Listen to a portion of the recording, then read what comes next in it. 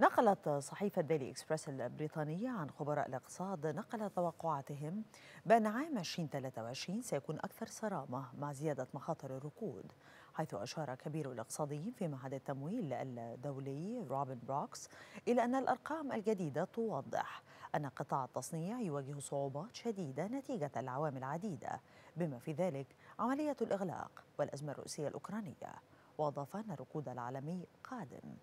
علقت الصحيفة البريطانية بأن ذلك جاء بعد أن قالت مديرة صندوق النقد الدولي كريستينا جورجيفا أن الاقتصاد العالمي قد عانى بشكل كبير في الأشهر الأخيرة.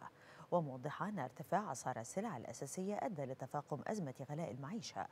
فيما حذر رئيس صندوق النقد الدولي من أن العالم يواجه مخاطر متزايدة من الركود في العام المقبل.